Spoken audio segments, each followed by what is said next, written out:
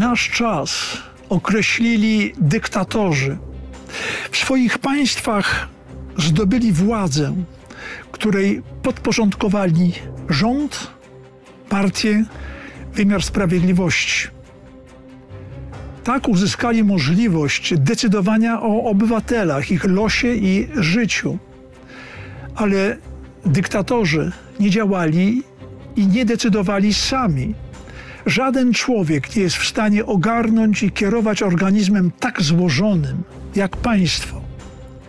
Los pomagierów władzy był jednak tragiczny.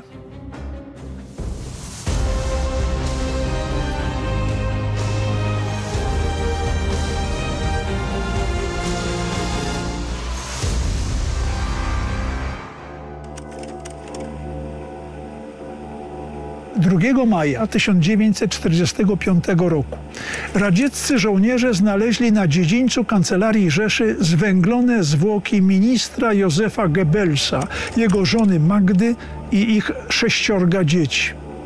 Jak zmarli? Trudno odpowiedzieć na to pytanie.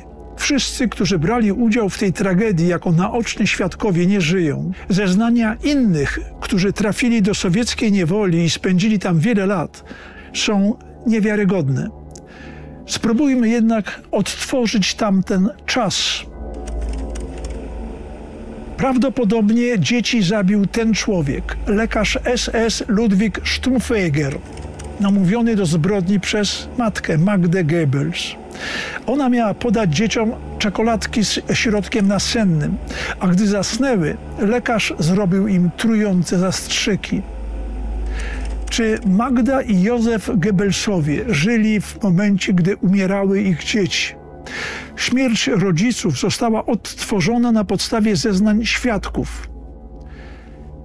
Wyszli do ogrodu w kancelarii Rzeszy, tam Józef strzelił żonie w tył głowy, a następnie zastrzelił się sam.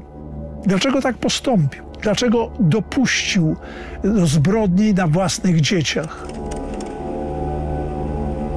To jest zdjęcie szczęśliwego czasu Goebbelsów, Magdy, Józefa i ich sześciorga dzieci. Byli fanatycznymi zwolennikami Führera. Dowodziły tego chociażby imiona dzieci, które wszystkie zaczynały się na literę H. Nawet najstarszy syn Magdy miał na imię Harald, choć nie był synem Józefa Goebbelsa, lecz pierwszego męża Magdy. Na ślubie Józefa i Magdy świadkiem był Adolf Hitler. Było to w 1931 roku. Podobno Magda zdecydowała się na ten związek z Józefem, wtedy już najbliższym współpracownikiem Hitlera, gdyż była w nim zakochana. Była zakochana w Hitlerze. Uznała, że jako żona bliskiego współpracownika Führera będzie miała okazję zbliżyć się do niego. To było dziwne, gdyż początkowo obydwaj mężczyźni nienawidzili się serdecznie. Józef Goebbels miał bolszewickie poglądy. Tak, przyszły minister propagandy Rzeszy i najbliższy doradca Hitlera był bolszewikiem. W każdym razie na początku swojej wielkiej kariery nazywał Hitlera małym, nic nieznaczącym burżujem. Żądał usunięcia go z partii do czasu, gdy ten mały burżuj docenił zalety Goebbelsa i skłonił go do zmiany poglądów. Jak? Hitler najpierw ujął Goebbelsa serdecznością i elegancją. Na partyjnej konferencji w Bambergu zaproponował Goebbelsowi wygłoszenie przemówienia. Później zaprosił go do prezydium i posadził obok siebie.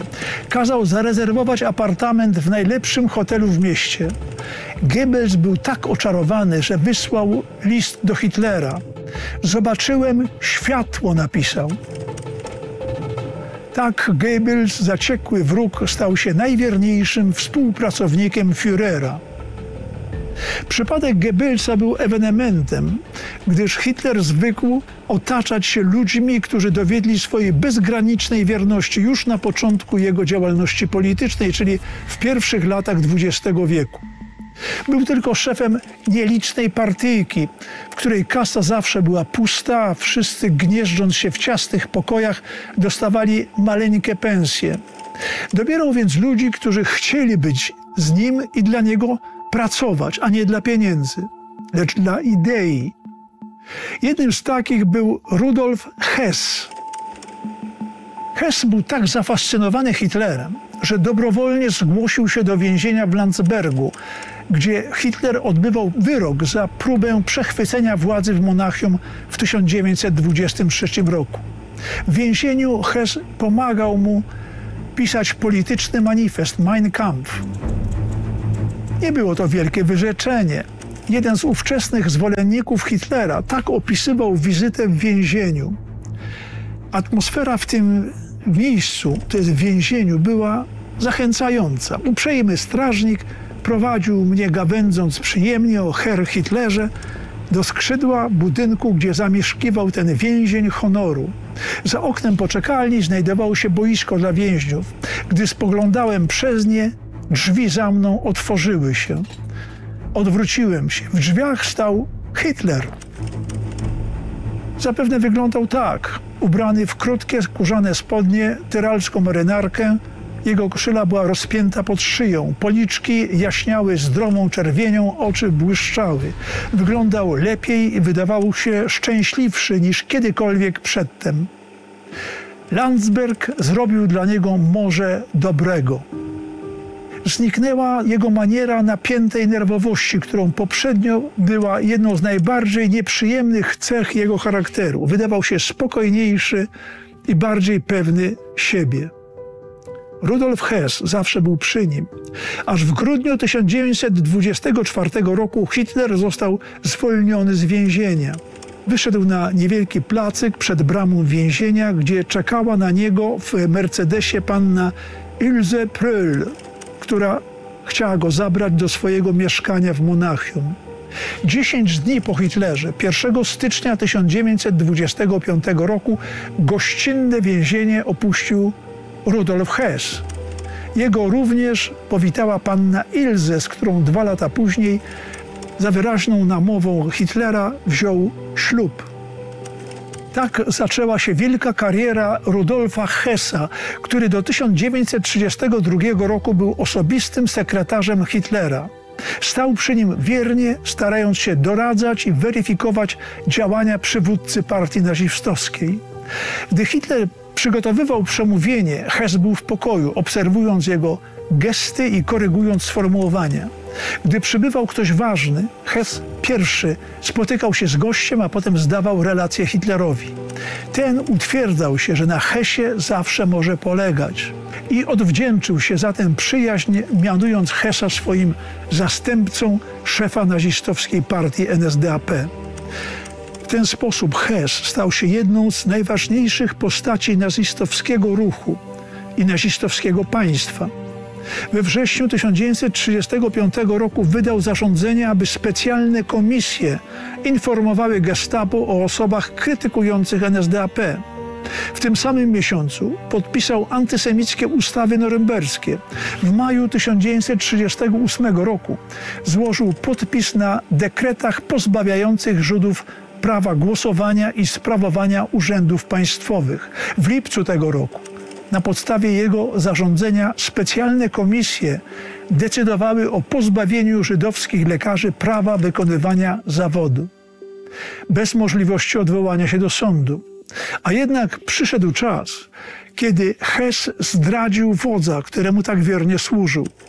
Tak mogłoby się wydawać, gdy 10 maja 1941 roku Hess przyjechał na fabryczne lotnisko przy zakładach Messerschmitta w Augsburgu. Wcześniej kazał tam przygotować dwusilnikowy myśliwiec Bf-110. Wybrał ten samolot ze względu na jego duży zasięg. Hess był wytrawnym pilotem. Lotniczą karierę rozpoczął już w czasie I wojny światowej. Później, w 1933 roku, gdy został zastępcą Hitlera, wielokrotnie siadał za sterami samolotów. Nikogo w zakładach Messerschmitta nie zdziwiły specjalne polecenia przygotowania samolotu do długiego lotu. Jeżeli nawet dyrekcja zakładów miała jakieś podejrzenia wobec zamiarów szefa NSDAP, to nie mogła czy bała się je ujawnić. W sobotę 10 maja 1941 roku około godziny 18 Hess wystartował z Augsburga.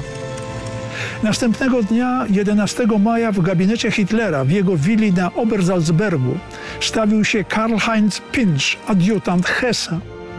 Przyjechał, aby przekazać Führerowi osobisty list od Hessa. Hitler, zaskoczony, złamał niebieską pieczęć lakową, rozdarł kopertę i podszedł do okna, gdzie jasne światło pozwalało mu odczytać treść bez zakładania okularów, czego unikał w obecności podwładnych. Mein Führer, kiedy otrzymasz ten list, ja będę w Anglii. Możesz sobie wyobrazić, że decyzja podjęcia takiego kroku nie była łatwa, gdyż 40-latek ma inne związki z życiem niż mężczyzna 20-letni, napisał Hess. Czy pan zna treść tego listu? Hitler zwrócił się do Pincha. Ten zawahał się na moment. Nie przypuszczał nawet, że od tej odpowiedzi zależeć będzie jego życie. Tak jest, mein Führer, powiedział wreszcie Pinch. I wtedy stało się coś nieprawdopodobnego. Hitler z przeraźliwym krzykiem ruszył w stronę drzwi. Aresztować ich! Aresztować i do obozu koncentracyjnego! Złamali mój rozkaz. Kazałem pilnować go. Pilnować, mówił o Hesie. To była dobrze zagrana scena, w której Pinch miał być ofiarą. Pincha zwolniono z więzienia dopiero w 1944 roku i wysłano na front wschodni. Tam dostał się do sowieckiej niewoli. Torturowano go, aby wydobyć informacje na temat ludzi najbliższych jego szefowi. Połamali mu palce tak, że nie mógł się już posługiwać widelcem i nożem. Dopiero w 1955 roku wypuścili go z obozu. Hitler uznał, że musi odnieść się do niebywałego postępku swojego zastępcy. Pod nieobecność Goebbelsa szef prasowy rządu Otto Dietrich wydał komunikat, jak się okazało, fatalny. Władze partyjne informują Parteigenose Hess, któremu Hitler zabronił jak najsurowiej uprawiania pilotażu ze względu na postępującą od lat chorobę, wbrew temu rozkazowi zdołał wejść w posiadanie samolotu. Oficjalny komunikat głosił ponadto: Hess wystartował w sobotę 10 maja 1941 roku około godziny 18 z Augsburga. List, jaki pozostawił, chaotycznie sformułowany, wskazuje niestety na ślady zaburzeń umysłowych i każe obawiać się, że Hess padł ofiarą własnych urojeń. Hitler natychmiast kazał aresztować adiutantów Parteigenose Hessa, którzy wiedzieli o tych lotach i wbrew znanemu im zakazowi Führera nie przeszkodzili temu, ani nie złożyli natychmiastowego meldunku. Na efekty tak fatalnie sformułowanego komunikatu oficjalnego, rządowego nie trzeba było długo czekać. Już następnego dnia stary ogrodnik powiedział do Paula Schmidta, tłumacza Hitlera – czy wiedział pan, że rządzą nami wariaci? Drugi błąd, który popełnili autorzy komunikatu, był jeszcze gorszy. Nie uwzględniali, że Hess mógł dotrzeć do celu i zostać schwytany przez Brytyjczyków, którzy nie omieszkają powiadomić o tym świata. Tak też się stało. W kilkanaście godzin po ukazaniu się niemieckiego komunikatu o 23.20 rząd brytyjski wydał oświadczenie, że Hess znajduje się w Wielkiej Brytanii. 13 maja sprawę przejął Józef Goebbels. On już nie popełniał tak fatalnych błędów jak Dietrich, a zręcznie naprawił to, co w sprawie Hessa spartaczyli jego poprzednicy.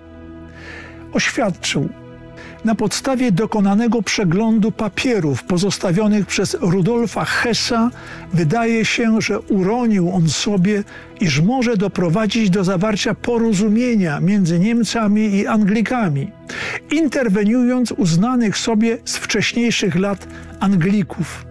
Rudolf Hess, któremu od lat, o czym w partii wiedziano, dokuczały poważne cierpienia fizyczne, w ostatnim okresie coraz intensywniej poszukiwał pomocy u magnetyzerów i astrologów.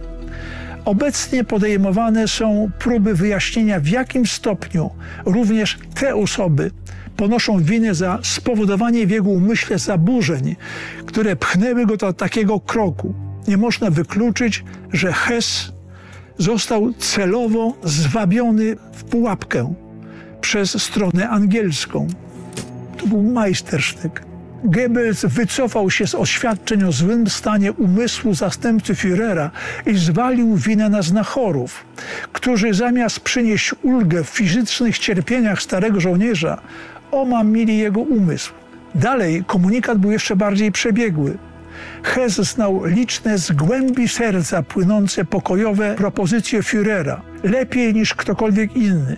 Wydaje się, że zżył się z myślą, iż ponosząc osobistą ofiarę, mógłby zapobiec takiemu rozwojowi sytuacji, która w jego oczach prowadziłaby do całkowitego zniszczenia Imperium Brytyjskiego.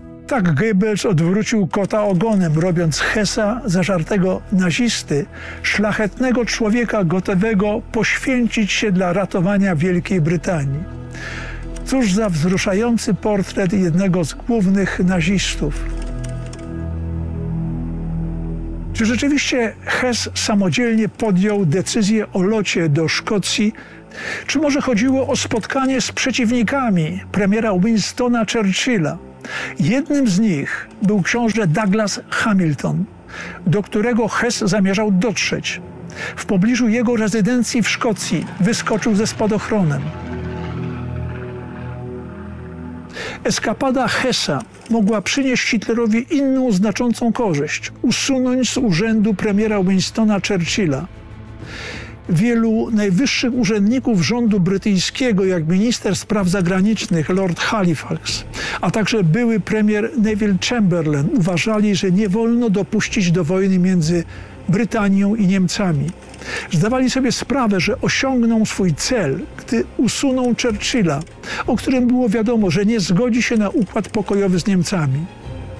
Czy Hitler wymyślił, że Hess jako osobisty wysłannik usunie wszelkie wątpliwości, które Anglicy mogli mieć słysząc niemieckie pokojowe propozycje? Czy reakcja Hitlera na wieść o locie Hessa była teatralnym spektaklem? Nigdy się tego nie dowiemy. 17 sierpnia 1987 roku, tak, 1987 roku, 93-letni Rudolf Hess popełnił samobójstwo w więzieniu w Szpandał, gdzie odbywał dożywotnią karę za zbrodnie wojenne. Jego sprawa nikomu nie zaszkodziła. Autorytet Hitlera nie został nadszarpnięty zaś wrogowie Churchilla w brytyjskim rządzie nie ponieśli żadnych konsekwencji. Tak więc ludzie dyktatorów nie zawsze dobrze im doradzali i nie zawsze dobrze im życzyli.